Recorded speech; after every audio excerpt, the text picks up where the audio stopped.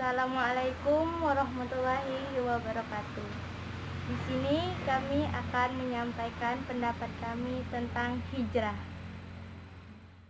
Ketahuilah ukti, hijrah bukan hanya berlomba-lomba untuk berpenampilan syar'i, tetapi di balik penampilan ada akhlak dan perilaku yang juga dituntut harus syar'i. Karena setelah hijrah pun masih ada istiqomah yang dipertanyakan.